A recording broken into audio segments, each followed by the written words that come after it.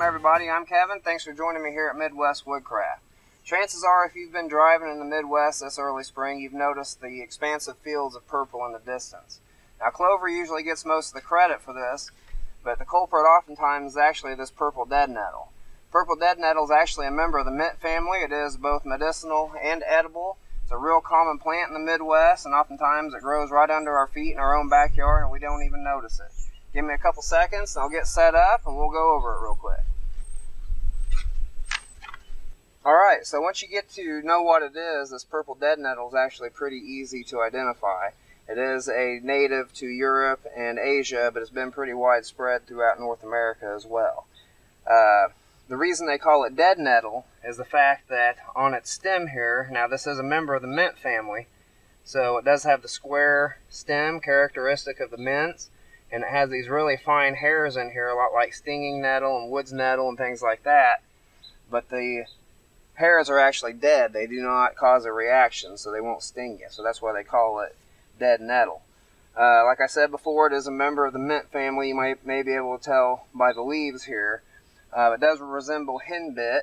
Uh, flowers are kind of a similar care, uh, color, and the stems are similar as well. The henbit does have the square stem as well.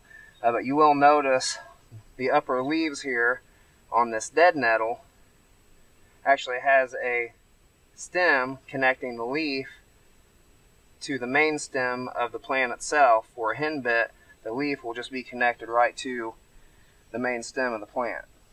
Like henbit, purple dead nettle is edible. The leaves can be eaten raw in salads or they can be cooked as a pot herb. I find that the higher leaves up on the plant, the younger leaves are actually a little bit tastier than the older, more mature leaves. In my research, I also found it's been used medicinally over the years. You can actually take the leaves and apply them, kind of mash them up and apply them topically to skin conditions and cuts, uh, minor wounds and burns and things like that. It's been used to stop internal bleeding and hemorrhage over the years, uh, to, to promote perspiration, to stop the chills.